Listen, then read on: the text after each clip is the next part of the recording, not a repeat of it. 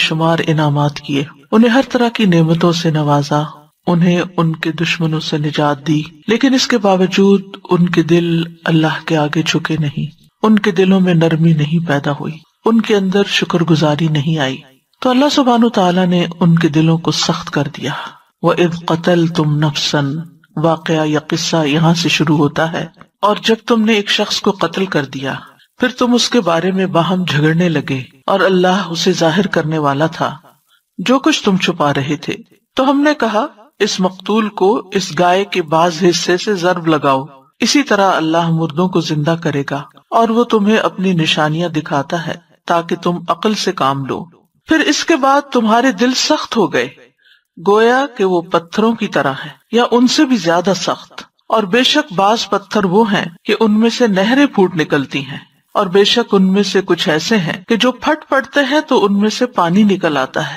اور بلا شبہ، ان میں سے کچھ ایسے ہیں کہ وہ اللہ کے خوف سے گر پڑتے ہیں۔ اور اللہ ہرگز اس سے غافل نہیں ہے۔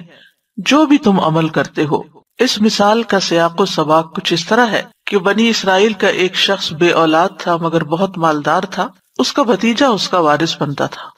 تو بھتیجے نے چچا کو قتل کر دیا اور اس کی لاش کو رات کے وقت اپنے ہی یعنی بنی اسرائیل ہی کے ایک آدمی کے دروازے پر پھینک آیا۔ پھر یہ دعویٰ کر دیا کہ اس شخص نے اسے قتل کیا ہے۔ اس کے نتیجے میں سب لوگ مسلح ہو کر ان کی طرف گئے اور ان کا قبیلہ بھی مسلح ہو گیا اور آپس میں ایک دوسرے سے جھگڑنے لگے اور ایک دوسرے پر الزام تراشی کرنے لگے۔ تو اتنے میں ایک عقل مند شخص نے ان سے کہا کہ تم آپس میں کیوں جھگڑتے ہو؟ تمہارے درمیان اللہ کے رسول موجود ہیں، تم ان سے فیصلہ کروا لو۔ لہٰذا وہ علیہ السلام کے پاس آئے اور انہوں نے اس واقعے کا ذکر کیا۔ تو علیہ السلام نے فرمایا کہ اللہ تمہیں ایک گائے ذبح کرنے کا حکم دیتا ہے۔ انہوں نے کہا، کیا تم ہم سے مذاق کرتے ہو؟ پھر انہوں نے گائے سے متعلق بہت سے سوالات کیے کہ اس کا رنگ کیسا ہو، اس کی شکل کیسی ہو، اور کہنے لگے کہ گائے ہم پر مشتبہ ہو گئی ہے۔ تو علیہ السلام نے کہا کہ وہ ایسی گائے ہے جو نہ ہل جوتتی ہے زمین میں ہل نہیں چلاتی، نہ کھیتی کو پانی دیتی ہے، صحیح سالم ہے، اس میں کسی قسم کا رنگ اور نشان نہیں۔ تو انہوں نے کہا، اب تم ٹھیک بات لائے ہو، اور پھر انہوں نے اس گائے کو ذبح کیا۔ اور لگتا ایسا تھا کہ وہ ذبح نہیں کریں گے۔ بہرحال اگر وہ پسو پیش نہ کرتے، بہت سے سوالات نہ کرتے، تو حکم کی اطاعت بھی ہو جاتی اور مسئلہ بھی حل ہو جاتا۔ لیکن چونکہ انہوں نے بحث مباحثے سے کام لیا، بہت سے سوالات کیے، تو بالآخر انہیں گائے تو مل گئی، لیکن اس کی بھاری قیمت چکانی پڑی۔ کہا جاتا ہے کہ صرف ایک ہی شخص ایسا تھا جس کے پاس وہ گائے تھی، اور اس نے پھر بہت بڑا مطالبہ کیا کہ اس گائے کی کھال بھر سونا اگر تم مجھے دو گے۔ یعنی گوشت تم نکال کر اتنا سونا مجھے دو گے، تو تب میں تمہیں یہ گائے دوں گا۔ بہرحال انہوں نے جیسے تیسے اس گائے کو خریدا اور اس کے بعد یہ کہ اس کو ذبح کیا۔ ذبح کرنے کے بعد اس کا ایک ٹکڑا مقتول کے جسم پر جو ہی مارا گیا تو مقتول اٹھ کر بیٹھ گیا اور اس نے واضح طور پر اپنے بتیجے کی طرف اشارہ کرتے ہوئے کہا کہ اس نے مجھے قتل کیا۔ اب جب دوبارہ اللہ تعالیٰ نے اس کی روح کو قبض کیا تو بتیجے نے کہا، اللہ کی قسم، میں نے تو اسے قتل نہیں کیا، پھر قسم کھا لی۔ جبکہ اتنا بڑا معاوضہ اپنی آنکھوں کے سامنے دیکھ چکے تھے۔ ان کی آنکھوں کے سامنے ایک مردہ شخص زندہ ہو کر بیٹھتا ہے اور بتاتا ہے کہ قاتل کون ہے، لیکن قاتل پھر بھی ڈٹائی کے ساتھ قسم کھا لیتا ہے کہ میں نے قتل نہیں کیا۔ تو اللہ تعالیٰ نے فرمایا تم قصد قلوب کو ممباد اس کے بعد پھر تمہارے دل سخت ہو گئے۔ یعنی اس واقعے کو دیکھنے کے بعد وجائے اس کے کہ مجرم کو پکڑا جاتا تم نے مجرم کی ہاں میں ہاں ملا دی۔ لہذا جرم کرنے والے یا ظالم کا ساتھ دینے کی بنا پر ان سب کے دل سخت کر دیے گئے۔ اسی طرح یہ ہے کہ طویل مدت گزرنے کے ساتھ ساتھ بنی اسرائیل کے دل سخت ہو گئے تھے۔ بہت سی انہوں نے آیات دیکھی، معجزات دیکھے، لیکن کسی نصیحت اور معزت کو قبول نہیں کیا۔ اسی وجہ سے پھر ان کے دل سخت ہو گئے۔ ایک اور جگہ پر آتا ہے فبیما نقزہم میثاقہم لعناہم وجعلنا قلوبہم قاسیہ ان کے اپنے عہد کو توڑنے کی وجہ سے یعنی انہوں نے جو عہد اللہ سے باندھا، اس کے توڑنے کی وجہ سے ہم نے ان پہ لانت کی اور ہم نے ان دل سخت کر دی۔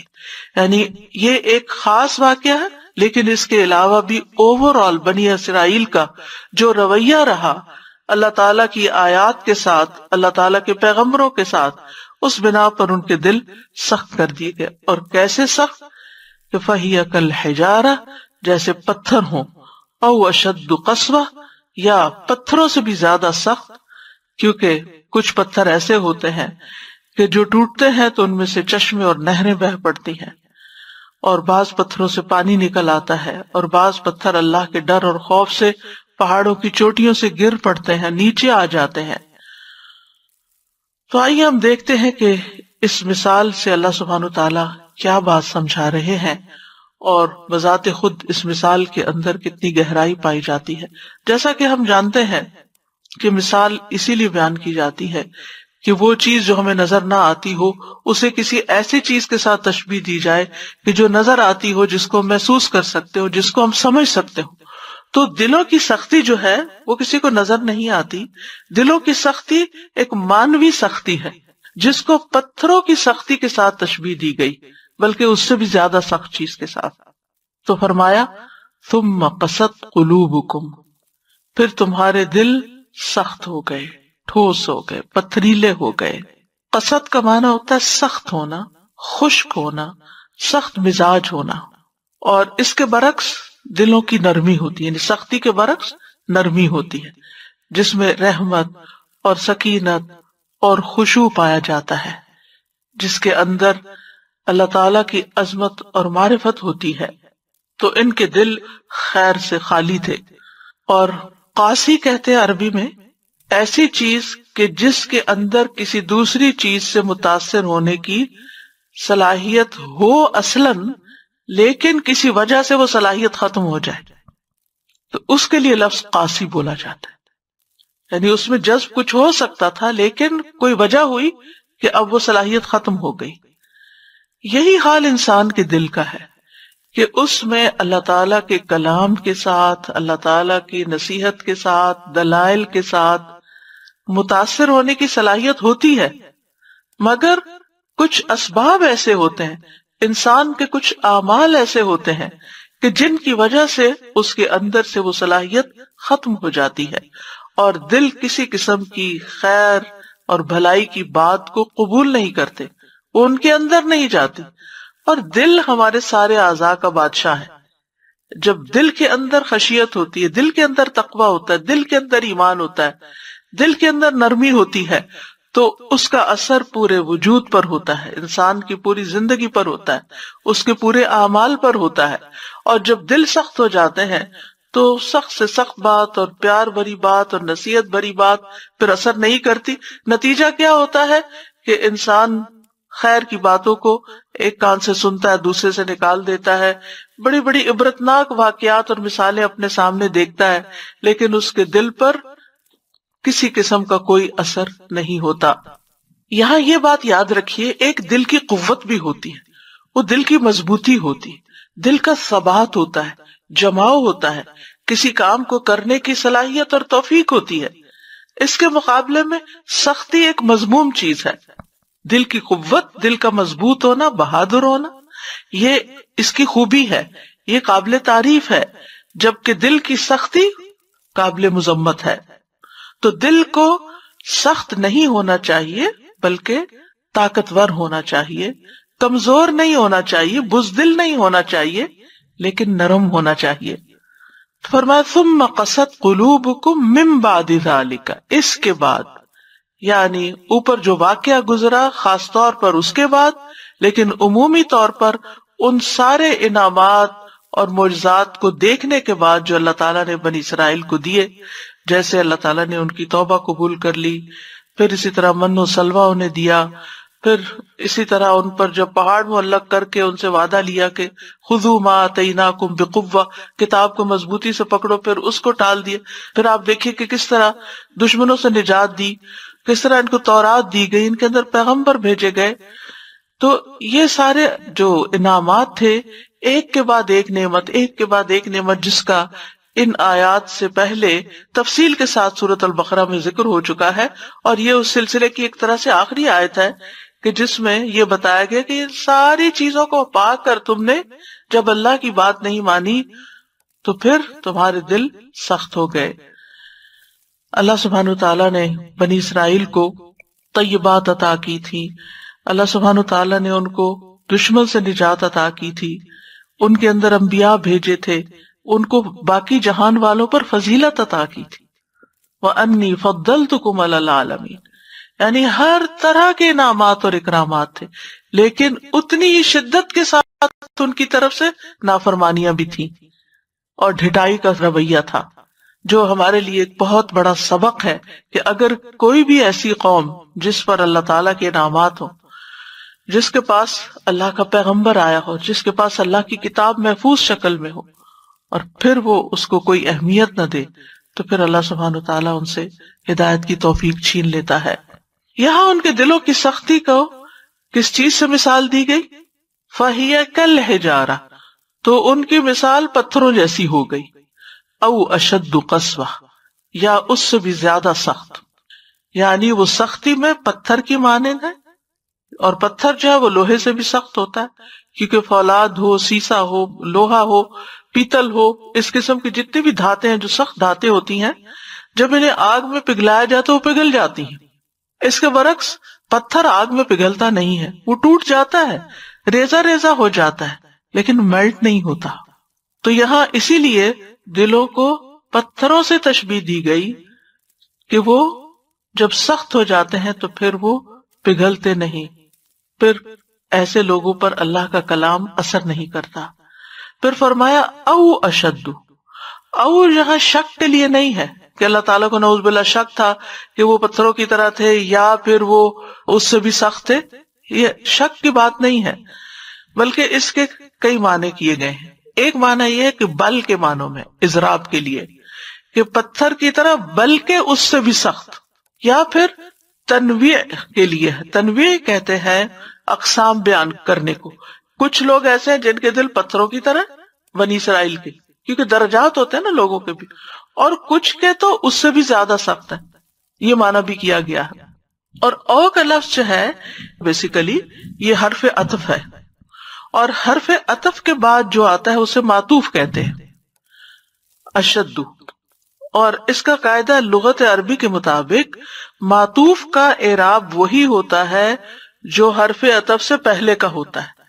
تو حرف اطف سے پہلے کیا ہے؟ کل ہجارتی، زیر آ رہی ہے۔ لیکن او اشدو آ گیا ہے۔ ہونا تو چاہیے تھا او اشدی، لیکن اشدو آ گیا۔ تو ایسا کیوں ہے؟ یہ قرآن کا اعجاز ہے۔ یہاں پر آپ دیکھیے کہ اصل میں اشدو سے پہلے ہم محضوب ہے۔ اور اشدو اس کی خبر ہے۔ یعنی ہم اشد قصوہ اور یوں یہ جملہ اسمیہ بن جاتا ہے۔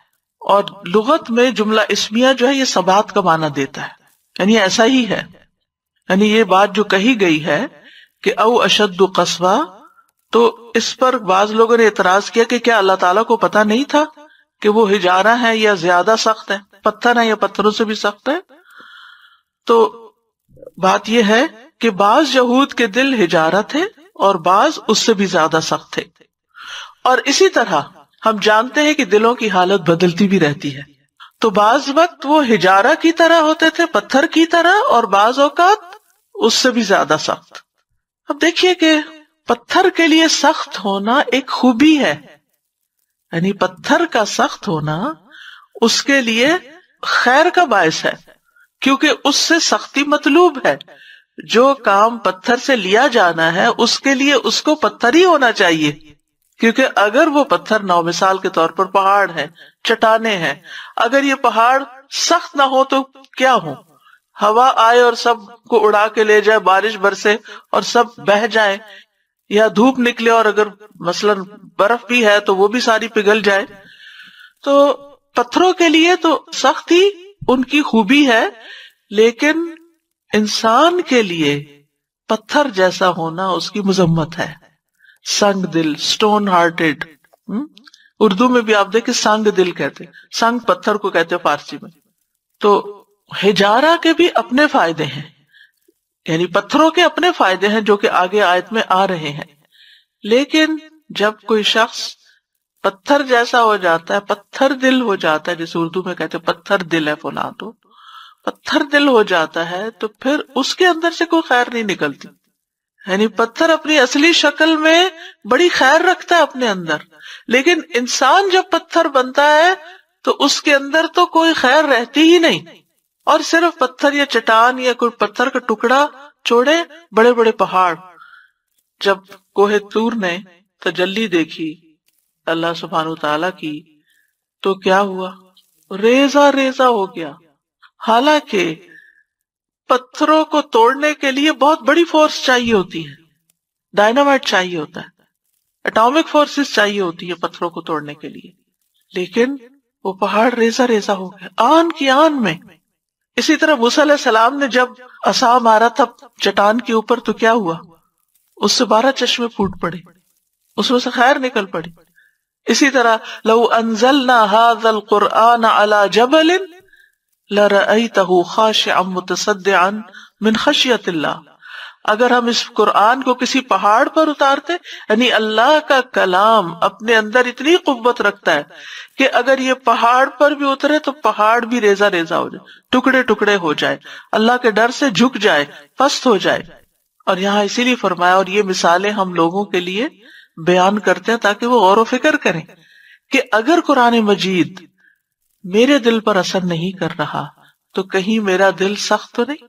یعنی یہ اپنا جائزہ لینے کی، جیسے آپ دیکھیں فزیکلی بھی اگر ہارٹ ہارڈ ہو جائے، تو انسان کے لیے موت ہو سکتی ہے، اس کا فنکشن ختم ہو سکتا ہے، اس کا کام کرنا بند ہو سکتا ہے، تو وہ انسان کے لیے موت کا پیغام ہوتا ہے۔ اور اسی طرح اسپرچلی بھی اگر دل سخت ہو جائے، تو یہ انسان کی روحانی موت ہوتی ہے۔ تو ہم میں سے ہر ایک کو اپنے دل کا جائزہ لینا چاہیے۔ وہ کہتے ہیں نا، تین مواقع پر اپنے دل کا جائزہ لیتے رہو۔ قرآن سنتے وقت ذکر کی محفلوں میں اور تنہائی کے اوقات میں۔ اگر اس میں دل نہ لگے، تو سمجھو کہ پھر دل نہیں، پتھر ہے سینے میں۔ تو ہم سب کو اپنے دلوں کا جائزہ لینا چاہیے کہ قرآن سنتے وقت ہماری کیفیت کیا ہوتی ہے، ہمارا دل کتنا لگتا ہے، ہمارے اندر کیسا ارتعاش آتا ہے۔ کیونکہ جب زلزلہ آتا ہے یا زمین کے اندر ارتعاش پیدا ہوتا ہے، تو پتھر بھی کام اٹھتے ہیں۔ پتھر گر پڑتے ہیں، پتھر ٹوٹ جاتے ہیں۔ لیکن انسان ہے کہ اس پر اللہ کا کلام اثر نہیں کرتا۔ تو فرمایا وہ ان من الحجارتی اور بے شک بعض پتھر لما، البتہ ایسے ہیں جو یا تفجر منہ الانہار اس میں سے نہریں پھوٹ پڑتی ہیں۔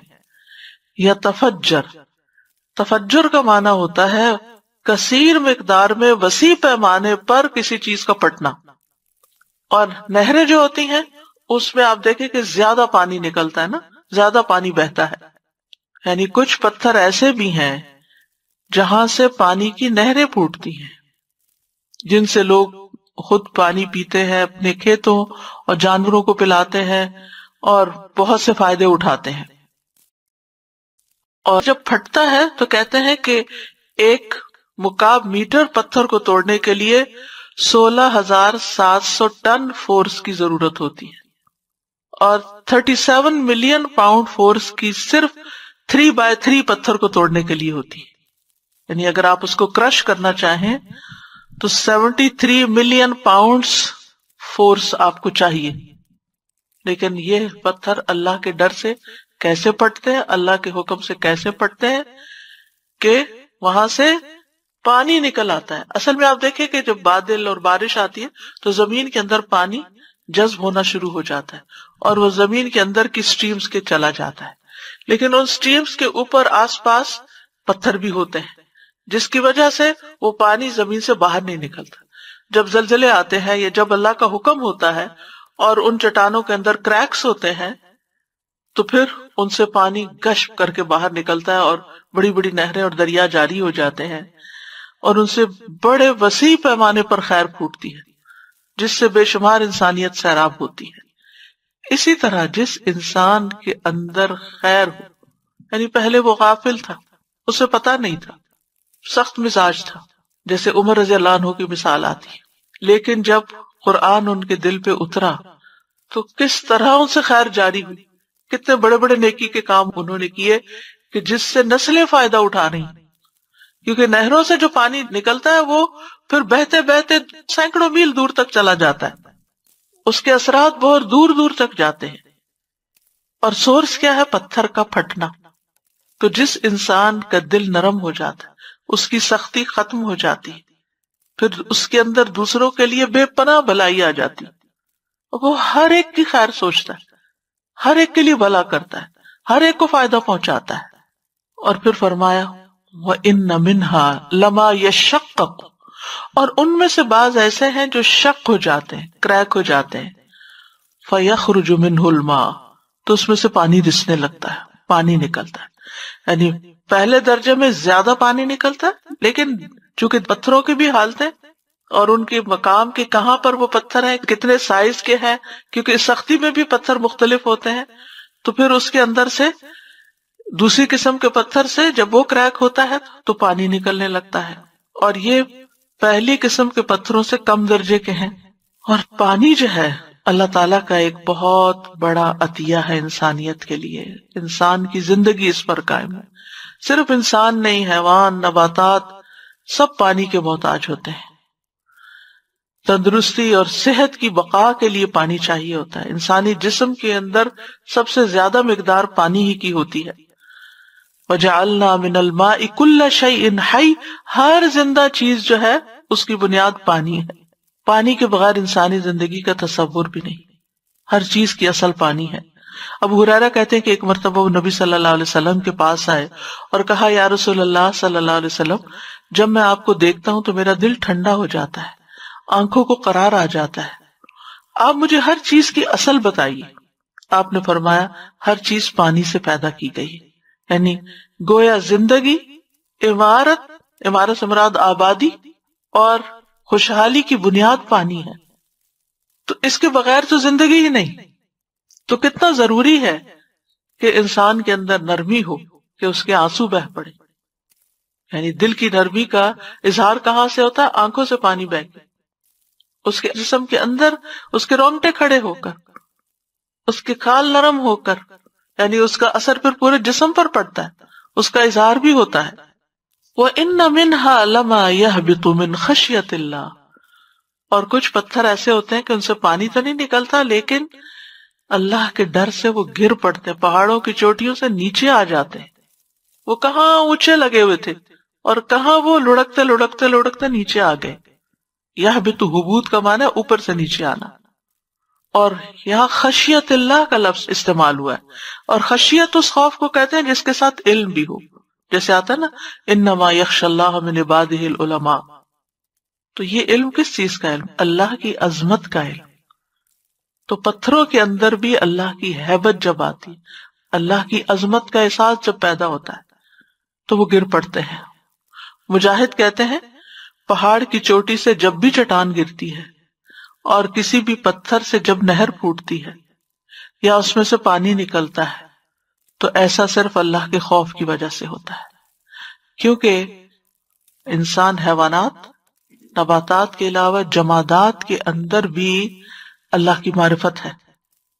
اسی لیے ہر چیز اللہ کی تسبیح بیان کر رہی اسی لیے ان کے اندر اللہ کی خشیت آتی۔ آپ کو معلوم ہے نا کہ جب جمعہ کا دن آتا ہے تو ہر چیز قیامت کے آنے سے ڈرنے لگتی ہے۔ تو ہر چیز کیسے ڈرنے لگتی؟ کیونکہ ان کے اندر بھی اللہ کی معرفت ہے۔ ایک انسان ایسا ہے جو سنگ دل ہوتا ہے تو اس کے اندر اللہ کی معرفت نہیں ہوتی۔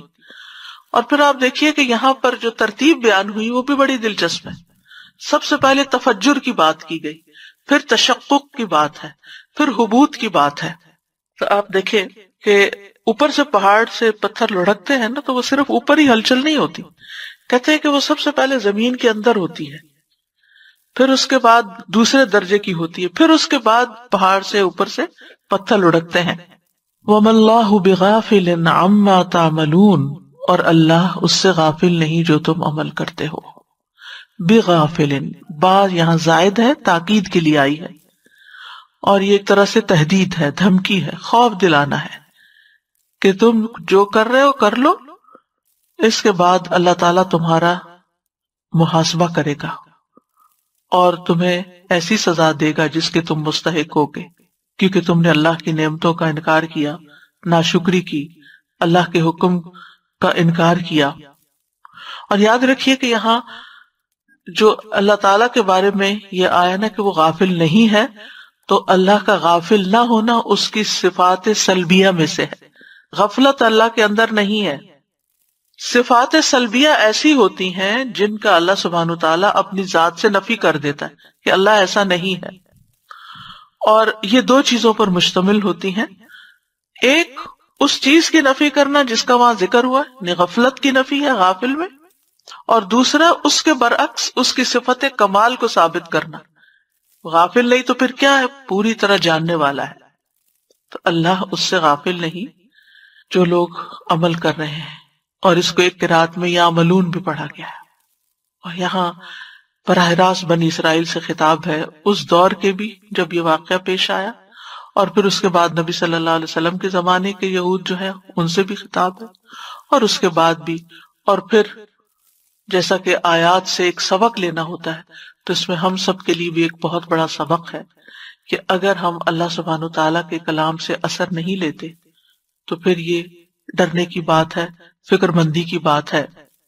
تو بنیادی طور پر تو بنی اسرائیل کی سرزنش کی گئی کہ تم عجیب قوم ہو کہ مردے کا جی اٹھنا تم نے اپنی آنکھوں سے دیکھا۔ پھر بھی تم اپنے کفر اور سرکشی پر ڈٹے رہے۔ تمہارے دل نرم نہ ہوئے۔ پتھر جیسے ہو گئے، اس سے بھی سخت ہو گئے۔ اور ہم جانتے ہیں کہ بنی اسرائیل کے دلوں کی سختی سے بھی پتہ چلتی کہ جو انہوں نے اللہ کے کلام کے ساتھ کیا۔ جو انہوں نے اللہ کے انبیاء کے ساتھ کیا۔ یعنی جب دل سخت ہوتا ہے نا، انسان بڑے سے بڑا گناہ کر لیتا ہے۔ اسے ڈر ہی نہیں لگتا۔ اس کے اندر سے حیا ہی نکل جاتی۔ اسے کوئی احساس ہی نہیں ہوتا۔ وہ ہر طرح کا ظلم کر لیتا ہے پھر۔ اسی وجہ سے ہم دیکھتے ہیں کہ بنی اسرائیل کے دلوں کی سختی ہی تھی کہ وہ انبیاء کو نیکی کا حکم دینے والوں کو قتل کر دیا کرتے تھے۔ آپ سوچئے اگر ہمارے سامنے اللہ کے رسول صلی اللہ علیہ وسلم آ جائیں تو ہمارے دلوں کا حال کیا ہو؟ ہمارے اندر کیسی محبت ہو؟ ہماری کیفیت ہی بدل جائے۔ وہ آواز دے تو ہم لبیک کہہ کے آگے بڑھے جیسے صحابہ کرام تھے۔ کیسی محبت تھی، کیسا تعلق تھا، کیسے معاملات تھے۔ اس کے برعکس آپ دیکھیے موسیٰ علیہ السلام، کہ ان کی قوم ان کے ساتھ کیا کر رہی۔ کبھی بحث مباحثہ کر رہے ہیں۔ اور کبھی کہتے ہیں، ہم اللہ کو ڈائریکٹ خود دیکھنا چاہتے ہیں اور ہم تمہاری بات نہیں مانیں گے جب تک تم یہ کام ہمارا نہ کرو۔ اور جب وہ کہتے ہیں، چلو ہم اپنا ملک واپس فتح کرتے ہیں تو کہتے ادہ بنتا و ربو کا فقاتلا، انا ہا ہنا قائدون جاؤ تم اور تمہارا رب، ہم تو یہاں بیٹھے ہیں۔ تم لوگ جا کے لڑو اور جب فلسطین فتح ہو جائے تو پھر ہم بھی آ جائیں گے۔ انا للہ و انا لراج پھر اسی طرح انبیاء کو قتل کرنا ان کے بائیں ہاتھ کا کھیل تھا۔ لوگوں کا مال ناجائز کھاتے تھے۔ پیغمبروں کا انکار کر دیتے تھے۔ اپنی خواہشات کو اللہ کے احکامات پر فوقیت دیتے تھے۔ اللہ کے وعدوں کو توڑ دیتے تھے۔ کتاب میں تحریف کرتے تھے۔ اس پر عمل کرنا چھوڑ دیا۔ یعنی اللہ کے کلام کو بدل دیا۔ آپ دیکھیے کہ کبھی ایسا ہوتا ہے نا، پڑھتے وقت کوئی منہ سے لفظ غلط نکل جائے تو استخر اللہ، واپس پڑھتے امام بھی ترابی میں بھول جائے، واپس پیچھے سے پوری آیت پڑھتے یہ اللہ کے ڈر کی وجہ سے، کلام کے ادب کی وجہ سے۔ لیکن ان کا حال دیکھے کہ وہ اپنی مرضی سے اس میں سے مٹا رہے ہیں، ڈال رہے ہیں، آگے کر رہے ہیں، پیچھے کر رہے ہیں، اس کو چھپا رہے ہیں۔ یہ سب کیا ہے؟ یہ دلوں کی سختی ہی کی تو ہے۔ تو اہل ایمان کو بنی اسرائیل کی روش اپنانے سے منع کیا گیا ہے۔ اللہ تعالیٰ کا فرمان ہے الم یلین آمنو ان تخشا قلوبهم لذکر اللہ وما نزل من الحق ولا يكونوا كالذين اوتوا الكتاب من قبل فطال عليهم الامد فقست قلوبهم وكثير منهم فاسقون۔ کیا ان لوگوں کے لیے جو ایمان لائے وہ وقت نہیں آیا کہ ان کے دل اللہ کی یاد کے لیے اور اس حق کے لیے جھک جائے جو نازل ہوا ہے؟ اور وہ ان لوگوں کی طرح نہ ہو جائیں جنہیں ان سے پہلے کتاب دی گئی۔ پھر ان پر لمبی مدت گزر گئی تو ان کے دل سخت ہو گئے۔ یعنی امت محمد صلی اللہ علیہ وسلم کو براہ راست سمجھایا جا رہا ہے کہ تم بنی اسرائیل کی پیروی نہ کرنا اس معاملے میں۔ ابن کثیر کہتے ہیں، اللہ نے مومنوں کو اس بات سے منع کیا کہ وہ ان لوگوں کی مشابت اختیار کریں جن پر ان سے پہلے یہود و نصارہ میں سے کتاب کی ذمہ داری ڈالی گئی تھی۔ تو بہرحال ان کے جرائم بے شمار تھے۔ اللہ کی کتاب کو تبدیل کرنے کے علاوہ اس کو تھوڑی قیمت پہ بیچا بھی، اسے اپنے پس پش ڈال دیا۔ اپنے علماء اور مشائق کو اللہ کے سوا اپنا رب بنا لیا۔ حتیٰ کہ یہاں تک پہنچے کہ ان میں سے کچھ لوگوں نے حضرت ازیر کو جو ایک نبی تھے، اللہ کا بیٹا قرار دیا یعنی شرک تک کا ارتکاب کیا۔ تو یہاں اس مثال میں ہم دیکھتے ہیں کہ ایک معقول چیز یعنی جو صرف عقل سے سمجھی جا سکتی ہے، اس کو ایک محسوس چیز سے ملموس یعنی جس کو چھوا جا سکتا ہے، اس کے ساتھ تشبیح دی گئی۔ اور وجہ جیسے ہم جانتے ہیں کہ لوہے کے ساتھ تشبیح نہیں دی گئی، پیتل کے ساتھ نہیں دی گئی، پتھر ہی کے ساتھ دی گئی، کیونکہ دل اور پتھر میں ایک مماثلت ہے۔ ابن عاشور کہتے ہیں اللہ نے جو ان کے دلوں کو پتھروں سے بھی زیادہ سخت قرار دیا، اس کی وجہ یہ ہے کہ یہ دونوں یعنی پتھر اور بنی اسرائیل کے دل سختی میں مشترک ہے ایک جیسے ہیں۔ پتھر تو پھٹنے پہ تبدیل ہو جاتے ہیں، ان کی شکل تبدیل ہو جاتی ہے، ان کا فنکشن تبدیل ہو جاتا ہے۔ لیکن بنی اسرائیل کو، یہود کو کسی چیز نے کوئی فائدہ نہ دیا۔ اور لوگوں کے اندر بھی آپ دیکھیں کہ کئی قسمیں ہوتی ہیں۔ جیسا کہ ہم اپنے آس پاس بھی دیکھتے ہیں کہ بعض لوگ ہوتے ہیں کہ جن کے دل میں اللہ کا کوئی ڈر نہیں ہوتا، کوئی خانہ ہے ہی نہیں اللہ کے ڈر کا۔ وہ آزاد رہتے ہیں، جو دل چاہتا ہے کرتے ہیں، اپنی خواہشات کے اوپر چلتے ہیں۔ جس چیز میں ان کو فائدہ نظر آتا ہے، وہی کر رہے ہوتے ہیں۔ اور جہاں انہیں کوئی دنیا کا نقصان نظر آتا ہے، اس چیز کو وہ نہیں لیتے۔ دلیل کی بجائے مفاد کو اہمیت دیتے ہیں۔ یعنی دلیل کو نہیں مانتے۔ بس یہ دیکھتا فائدہ کس چیز میں ہے۔ اگر نفس ان کا کہے کسی چیز کے آگے جھکنے کو کہ گدے کو استاد بنا لو تو وہ بھی کر لیں گے۔ لیکن جہاں اللہ کا حکم آئے، وہاں ان کے دل جھکنے کو تیار نہیں۔ دوسری قسم کے لوگ وہ ہوتے ہیں کہ جن کے دل میں کچھ نہ کچھ حرام حلال کا لحاظ رہتا ہے۔ ان کو خیال ہوتا ہے کہ مرنے کے بعد اللہ کے پاس حاضر ہونا ہے۔ تو عام حالات میں وہ اللہ سے ڈر کے زندگی بسر کر رہے ہوتے ہیں۔ روز مرہ زندگی میں عام طور پر لوگوں کو ان سے کوئی نقصان نہیں پہنچتا۔ لیکن پھر بھی ان کے اندر کسی نہ کسی درجے کی پیچیدگی ہوتی ہے۔ ان کے اندر نفس کے چھپے ہوئے جذبات ہوتے ہیں کہ جس کی وجہ سے اگر کوئی غیر معمولی واقعہ پیش آ جائے وہ ان کے نفس پہ چیز گراں گزر جائے تو پھر پھٹ پڑتے ہیں۔ پھر وہ لحاظ چھوڑ دیتے ہیں۔ تقوا ان کے ہاتھ سے چلا جاتا ہے۔ عام حالات میں، نارمل حالات میں وہ اچھے انسان ہوتے ہیں، لیکن غیر معمولی حالات میں پھر ان کے اندر وہی ہوتا ہے جو کسی اللہ سے نہ ڈرنے والے کے اندر حرکتیں ہوتی ہیں۔ یعنی اللہ سے نہ ڈرنے والے جیسے ریاکٹ کرتے ہیں، ویسے ہی کرتے ہیں۔ صرف تیسری قسم کا انسان ایسا ہے جو پورے معنوں میں، حقیقی معنوں میں اللہ سے ڈرتا ہے، جو واقعی اللہ کو پہچانتا ہے۔ اور اپنے آپ کو بھی پہچانتا اپنی کمزوریوں کو بھی جانتا ہے۔ وہ صرف عام حالات میں اللہ سے نہیں ڈرتا، بلکہ ہر طرح کے حالات میں اللہ سے ڈرتا ہے۔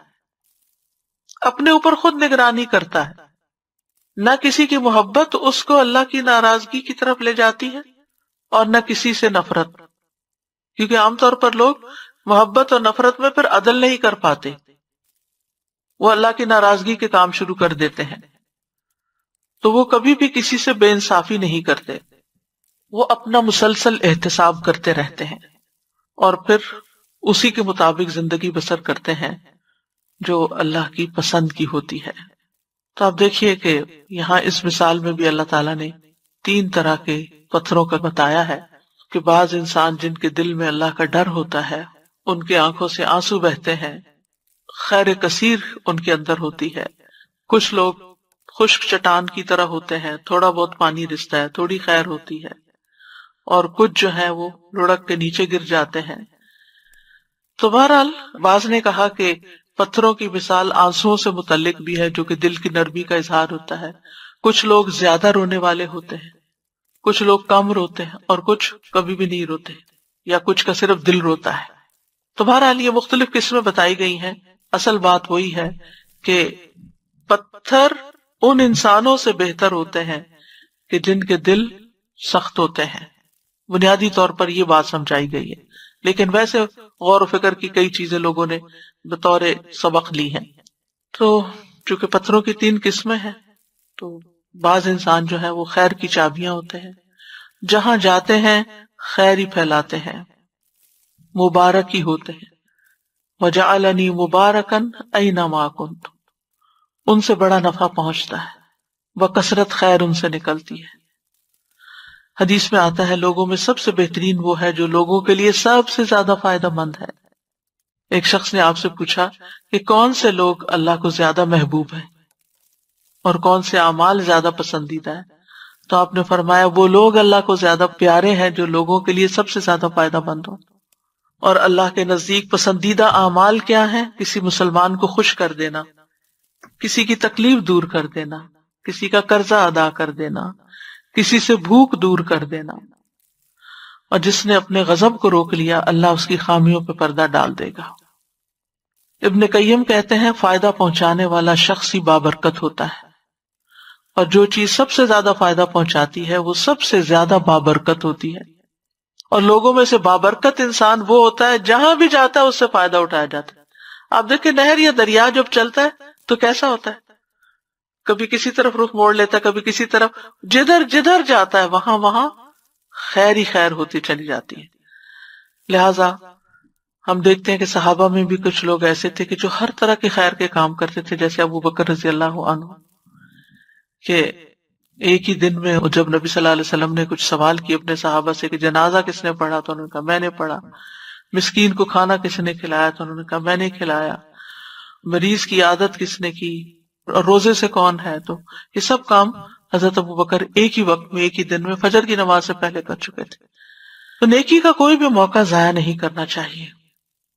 کم سے کم درجہ نیکی کا کیا ہے کہ انسان اپنا شر دوسروں تک نہ لے جائے؟ پھر اسی طرح اللہ کی خشیت کی بڑی اہمیت ہے۔ اللہ سے ڈرنا، کیونکہ ڈر سے پتھر ٹوٹتے ہیں۔ اللہ کی خشیت انبیاء کی صفت بھی ہے۔ وہ یکشا نہ ولا یکشا نہ احدن اللہ فرشتوں کی صفت بھی ہے۔ یخافون ربهم من فوقهم ويفعلون ما يؤمرون۔ متقین کی صفت ہے۔ الذين يخشون ربهم بالغیب اللہ کا قرب پانے کے لیے اللہ کا تقوی ضروری ہے۔ انا اکرمکم عند اللہ اتقاکم ابن قیم کہتے ہیں، عام مومن خوف رکھتے ہیں۔ علماء اور اللہ کی معرفت رکھنے والے خشیت رکھتے ہیں اور اللہ سے محبت کرنے والے حیبت رکھتے ہیں اور اللہ کے مقربین اللہ کی تعظیم کرتے ہیں۔ جو اللہ کے قریب ہوتے ہیں، وہ اللہ سبحان تعالیٰ کی عظمت کرتے ہیں۔ اور جس انسان کے دل میں جتنی اللہ کی معرفت ہوتی ہے، اس کے دل میں اتنی خشیت ہوتی ہے۔ منافق اللہ سے نہیں ڈرتا۔ مومن احسان اور خشیت کو جمع کرتا ہے۔ منافق بدعملی اور بے خوفی جمع کرتا ہے۔ یعنی کام بھی کچھ نہیں کرتا اور ڈرتا بھی نہیں۔ اسی طرح اللہ کے ڈر سے رونے والے جو ہیں، ان کی بھی بڑی فضیلت ہے۔ نبی صلی اللہ علیہ وسلم نے فرمایا، اللہ کے نزدیک دو قطروں اور دو نشانوں سے زیادہ کوئی چیز محبوب نہیں۔ ایک وہ قطرہ جو اللہ کے خوف سے آنسو بن کر نکلے۔ اللہ کے ڈر سے نکلے۔ پھر اس مثال میں ایک اور فائدہ بھی پایا جاتا ہے کہ جمادات اور نباتات وغیرہ بھی اپنے رب کو پہچانتے ہیں۔ یعنی بے جان چیزیں بھی اللہ کی معرفت رکھتی ہیں۔ سر جمعہ میں آتا یوسب اللہ معاف سماوات و معاف الارض۔ سورت الاسراء میں آتا ہے وہ امن شعی ان اللہ یوسب حبلی ولا کلّہ تفقہ تصبیح کوئی چیز ایسی نہیں مگر وہ اللہ کی حمد کے ساتھ اس کی تصویر نہ کرتی ہو، لیکن تم ان کی تصویر کو نہیں سمجھتے۔ رسول اللہ صلی اللہ علیہ وسلم نے فرمایا، میں اس پتھر کو پہچانتا ہوں جو مکہ مکرمہ میں میرے مبوس ہونے سے پہلے مجھ پر سلام کیا کرتا تھا۔ یعنی وہ پیغمبر کو بھی پہچانتا تھا۔ کہ یہ آئندہ کا پیغمبر ہے۔ جب نبی صلی اللہ علیہ وسلم بہت پہاڑ پر گئے، حضرت ابو بکر، عمر اور عثمان رضی اللہ عنہ کے ساتھ، تو وہ کانپنے لگ گیا لرزنے لگ گیا۔ آپ نے اس پہ پاؤں مارا اور فرمایا ٹہرو تجھ پر ایک نبی، ایک صدیق اور دو شہید ہیں۔ تو وہ سمجھتا تھا تو تبھی آپ نے اس کو خطاب کیا۔ کھجور کا تنا مسجد نبی میں رونے لگا، جب نبی صلی اللہ علیہ وسلم نے اس کو چھوڑ کر اپنا ایک ممبر بنوا لیا تھا۔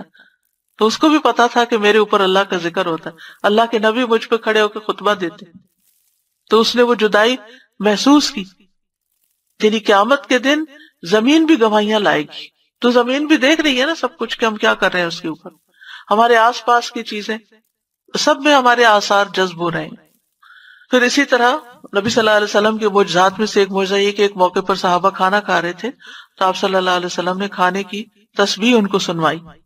پھر اسی طرح اس مثال سے ایک اور فائدہ یا ایک اور اہم بات پتہ چلتی ہے کہ دل ہمارے جسم کا سب سے قیمتی حصہ ہے اور دل کے اوپر ہماری جسمانی اور روحانی صحت کا انحصار ہے۔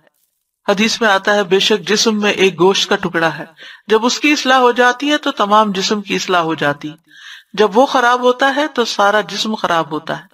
سنو، وہ دل ہے۔ یعنی رسول اللہ صلی اللہ علیہ وسلم نے اصلاح کا حقیقی طریقہ بتایا ہے۔ کہ جسمانی اعتبار سے وہ انسان صحت مند ہوتا ہے، جس کا دل ٹھیک کام کر رہا ہو۔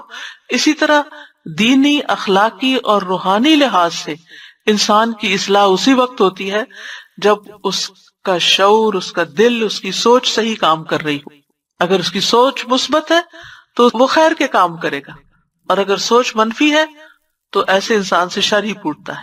پھر ہم دیکھتے ہیں کہ ایمان کا تعلق بھی دل کے ساتھ ہے۔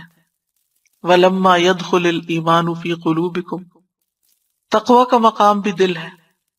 الدین امتحن اللہ قلوب تقوا یہی لوگ ہیں جن کے دلوں کو اللہ نے تقوا کے لیے جانچ لیا۔ اسلام کا تعلق بھی دل سے ہے۔ ایک حدیث میں آتا ہے کہ آپ سے پوچھا گیا کہ اسلام کیا ہے۔ آپ نے فرمایا، تم اپنا دل اللہ کے سپرد کر دو۔ دل اللہ کو دے دو۔ اور یہ کہ تم اپنے چہرے کا رخ اللہ تعالی کی طرف کر دو۔ پھر اسی طرح نفاق یا منافقت کا تعلق بھی دل سے ہے۔ فی قلوب مرد ان کے دلوں میں بیماری ہے۔ نفاق فی قلوب اللہ نے ان کے دلوں میں نفاق رکھ دیا الا یوم یلقونہ اس دن تک جس دن وہ اس سے ملیں گے۔ وہی الہی بھی نبی صلی اللہ علیہ وسلم کے دل پہ اتاری گئی۔ وہ ان تنزیل رب العالمین نزل به الروح الامین على قلبك لتكون من المنذرین وہی دل پر اتری۔ دل کی بنیاد سے ہی اللہ تعالیٰ بندوں کو چنتا ہے یعنی دل پر ہی انحصار ہے کہ اللہ کس کو کس کام کے لیے چنتا ہے۔ عبداللہ بن مسعود فرماتے بے شک اللہ نے بندوں کے دلوں پر نظر فرمائی تو قلب محمد کو بندوں کے دلوں میں سب سے بہتر پایا، صلی اللہ علیہ وسلم۔ اس لیے اللہ نے ان کو اپنے کام کے لیے منتخب کر لیا اور انہیں پیغمبری کا شرف عطا کر کے مبوس کر دیا۔ پھر قلب محمد صلی اللہ علیہ وسلم کے بعد بندوں کے دلوں پر نظر فرمائی تو صحابہ کے دل کو سب سے بہترین پایا، چنانچہ اللہ نے انہیں اپنے نبی کا وزیر بنا دیا۔ ان کے ساتھ ملا دیا۔ اللہ سبحان و تعالیٰ بھی ہماری شکلیں نہیں دیکھتے، ہمارے دل دیکھتے کہ نیتیں کیسی اندر کیسا ہے، سوچتے کیا ہو، خیالات کیسے ہیں۔ جو کہہ رہے ہو وہ دل میں ہے بھی کہ نہیں؟ کہیں قول و فیل میں تضاد تو نہیں؟ اور پھر یہ بھی کہ دل سوچنے، سمجھنے کی صلاحیت رکھتا ہے۔ حضرت علی کہتے ہیں کہ بے شک عقل دل میں ہوتی ہے یعنی سوچنے، سمجھنے کی صلاحیت کا تعلق دل سے ہے۔ دل ہی کے اندر نیکی اور گناہ کی پہچان ہوتی ہے۔ یعنی استفت قلبک، اپنے دل سے پوچھو کہ یہ کوئی کام کرنا چاہیے یا نہیں کرنا چاہیے؟ ابن مسعود کہتے ہیں، وہ شخص ہلاک ہوا، جس کا دل نیکی کو نیکی اور برائی کو برائی نہ سمجھے۔ پتھر ہوگا تو پھر وہ کیا سمجھے سوچے گا؟ حذیفہ کہتے ہیں کہ دلوں کی چار اقسام ہے غلاف میں لپٹا ہوا دل، بس یہ کافر کا دل ہے۔ ٹیڑھا دل یہ منافق کا دل ہے۔ ملاوٹ کے بغیر دل گویا اس میں چراغ چمک رہا ہو، یہ مومن کا دل ہے۔ اور ایک دل وہ ہوتا ہے جس میں کچھ ایمان ہوتا ہے، کچھ نفاق ہوتا ہے، ملا جلا دل ہوتا ہے۔ ہمیں دیکھنا چاہیے کہ ہمارے اندر کون سا دل ہے۔ ایمان کی مثال یوں ہے جیسے کوئی درخت ہو، جس کو پاکیزہ پانی مدد دیتا ہو۔ نفاق کی مثال ایسے جیسے پھوڑا پنسی ہو، جس کو پیپ اور خون مدد دیتا ہو۔ بس ان دونوں میں سے جو بھی دل پہ غالب آ جائے، وہی حالت غالب آ جائے گی۔ یعنی اگر ایمان زیادہ ہوگا تو نفاق کنٹرول ہو جائے گا۔ اور اگر نفاق کی شدت زیادہ ہوئی تو ایمان کمزور ہو جائے گا۔ پھر یہ بھی یاد رکھیے کہ بندوں کا دل اللہ کے ہاتھ میں ہے اس لیے اللہ ہی سے دعائیں کرتے رہنے چاہیے کہ ہمارے دلوں کو ہدایت پہ قائم رکھے۔ پھر یہ کہ دل کی حالت بدلتی رہتی ہے، الٹ پلٹ ہوتی رہتی ہے۔ رسول اللہ صلی اللہ علیہ وسلم نے ایک جگہ پر فرمایا قلب کو قلب اس لیے کہتے کہ وہ پلٹتا رہتا ہے۔ اور دل کی مثال تو اس پر کی طرح ہے جو کسی درخت کے تنے کے ساتھ لٹکا ہوا اور اسے ہوا الٹ پلٹ کرتی رہتی ہو، کبھی سیدھا، کبھی الٹا۔ اسی طرح ایک اور مثال سے سمجھایا، آدم کا دل اس ہنڈیا سے بھی زیادہ تیزی کے ساتھ بدلتا ہے جو خوب کھول رہی ہو۔ یعنی اتنی تیزی سے تبدیلیاں آ جاتی ہیں دل میں۔ تو بہرحال دل کی سختی جو ہے، وہ دل کی مضموم حالت ہے۔ جس سے پناہ مانگنی چاہیے۔ کیونکہ اللہ سے ڈرنے والوں کی صفت کیا ہوتی ہے؟ کہ جب ان کے سامنے قرآن پڑھا جاتا ہے تو ان کی کھالوں کے رونگٹے کھڑے ہو جاتے ہیں۔ وہ اپنے رب سے ڈرنے لگتے ہیں۔ پھر ان کی کھالے اور ان کے دل اللہ کے ذکر کی طرف نرم ہو جاتے ہیں۔ یاد رکھیے، دل سخت ہونا بدبختی کی علامت ہے۔ ناکام انسان کی علامت ہے۔ رسول اللہ صلی اللہ علیہ وسلم نے فرمایا، ایسا بندہ ناکام و نامراد ہوا جس کے دل میں اللہ نے انسانیت کے لیے رحم نہیں رکھا۔ جس کے اندر کوئی رحم نہیں، وہ ناکام و نامراد ہے۔ اور جہنمی ہونے کی علامت ہے کہ انسان کے اندر سخت مزاجی ہو، بدخوئی ہو اور تکبر ہو۔ یعنی دل کی یہ سختی جو ہے، یہ ہجارہ جو ہے، یہ جہنم کا ہجارہ ہی بننے والا ہے۔ دل کی سختی کی وجوہات کیا ہوتی ہیں؟ ایمان کے بعد کفر کے رستے پہ چلنا۔ اللہ کی آیات سے اعراض برتنا۔ یعنی جب نصیحت کی جائے تو توجہ ہی نہ دینا۔ غفلت میں پڑے رہنا۔ لاہیت قلوب اللہ کے ذکر سے روگردانی کرنا۔ منہ موڑ لینا۔ رب کو یاد نہ کرنا۔ فرائض سے پیچھے رہنا۔ خصوصاً جمعہ وغیرہ سے۔ گناہ کرنا، کیونکہ گناہ دلوں پہ غلبہ پا لیتے۔ رسول اللہ صلی اللہ علیہ وسلم نے فرمایا، دلوں میں سے ہر دل کے آگے گناہوں کے بادل آ جاتے ہیں۔ جس طرح چاند کے آگے بادل آتے ہیں، چاند چمک رہا ہوتا ہے، اچانک بدلی سامنے آ جاتی ہے اور تاریخ ہو جاتا ہے۔ جب بدلی سامنے سے ہٹ جاتی ہے تو روشن ہو جاتا ہے۔ گناہ سے توبہ کر لیتا ہے انسان، تو دل پھر چمکنے لگتا ہے۔ اور ہمارے دل کا حال تو ہم اپنے کو خود ہی جانتے ہیں نا۔ کوئی اور تو نہیں جانتا۔ اس لیے علاج بھی خود ہی کرنا ہوگا کہ اگر دل میں کسی وقت کچھ بھی ایسی چیز آئے تو فوراً اس کی صفائی کر دی جائے۔ دل فتنے قبول کرتے ہیں۔ دلوں میں ہی دنیا کی محبت ہوتی ہے۔ رسول اللہ صلی اللہ علیہ وسلم نے فرمایا، اس ذات کی قسم جس کے ہاتھ میں میری جان ہے، تمہارے اوپر یقیناً دنیا برسا دی جائے گی یعنی تمہیں بہت دنیا مل جائے گی۔ یہاں تک کہ تم میں سے کسی ایک کے دل کو کوئی چیز ٹیڑھا نہ کرے گی، مگر مزید دنیا کی طلب یعنی دنیا کی لالچ زیادہ سے زیادہ کی لالچ دلوں کو ٹیڑھا کر دیتی۔ اسی طرح عام روزمرہ زندگی میں کثرت کلام اور کثرت تعام بھی دلوں کو بگاڑنے کا سبب بنتے ہیں۔ باصلف سالین کہتے دو خصلتیں دل کو سخت کر دیتی ہیں، زیادہ بولنا اور زیادہ کھانا پینا۔ ابن قیم کہتے ہیں، دل کو بگاڑنے والے پانچ امور ہیں۔ نمبر ایک، لوگوں سے زیادہ گل مل کے رہنا۔ یعنی ہر وقت سوشلائز کرنا۔ خواہش پرستی۔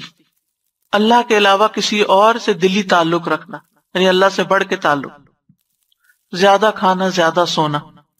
یہ پانچ چیزیں دل کو خراب کرنے والی چیزوں میں سب سے بڑی چیزیں ہیں۔ اسی طرح چیخنا، چلانا۔ صفوں کی درستگی کا خیال نہ رکھنا۔ تو دلوں کی سختی کے انسان کے اوپر نتائج بھی ہوتے ہیں۔ اس کے نتیجے میں انسان اللہ کے کلام کو اہمیت نہیں دیتا۔ قرآن پڑھنے کو اور قرآن کی مجلس میں دل نہیں لگتا۔ دین کی بات سننے کا شوق نہیں رہتا۔ کوئی نصیحت کی بھی جائے تو اس کو فراموش کر دیتا ہے۔ وہ نسو حزم روبی نعمتوں کا زوال شروع ہو جاتا ہے۔ سب سے بڑی بات یہ کہ دل کا سکون لٹ جاتا ہے۔ ایمان رخصت ہو جاتا ہے یا بہت کمزور پڑ جاتا ہے۔ لوگوں کی نفرت اور بکس کا باعث بھی بن جاتا ہے۔ دلوں کی سختی اور گمراہی جو ہے، یہ اللہ تعالی کی ناراضگی کا سبب بنتی ہے۔ علاج کیا ہے؟ ایمان کو مضبوط بنانے کے طریقے اختیار کرے وہ چیزیں جو ایمان کو بڑھائیں، مضبوط کرے مثلاً قرآن کی کثرت سے تلاوت اور تدبر سے پڑھنا اس کو، کیونکہ قرآن شفا ہے۔ اپنی زبان کی اصلاح۔ رسول اللہ صلی اللہ علیہ وسلم نے فرمایا، کسی آدمی کا ایمان درست نہیں ہوتا جب تک اس کا دل درست نہ ہو۔ اور اس کا دل درست نہیں ہوتا جب تک اس کی زبان درست نہ ہو جائے۔ تو اپنے منہ سے نکلے ہوئے الفاظ پہ غور کرنا۔ پھر یتیم اور مسکین کا لحاظ رکھنا۔ دل کو اخلاقی برائیوں سے پاک رکھنا، جیسے خیانت، حسد، بغض، نفرت۔ پھر رات کا قیام۔ شہری کے وقت اللہ کے آگے گڑ گڑا کے رونا، دعائیں کرنا۔ نیک صحبت، حلال کھانا۔ ہر ماہ تین روزے رکھنا۔ گنا ہونے پر فوری توبہ کرنا، روزانہ سو بار استغفار کرنا۔ رسول اللہ صلی اللہ علیہ وسلم نے فرمایا، میرے دل پر پردہ سا آ جاتا ہے۔ اسی وجہ سے میں ایک دن میں سو بار اللہ سے استغفار کرتا ہوں۔ یہ ہمیں لازم اپنے اوپر کر لینا چاہیے۔ گن کے یا تسبیح پکڑے یا انگلیوں پہ کرے، لیکن گن کے کم از کم سو بار ضرور۔ اور سوچ کے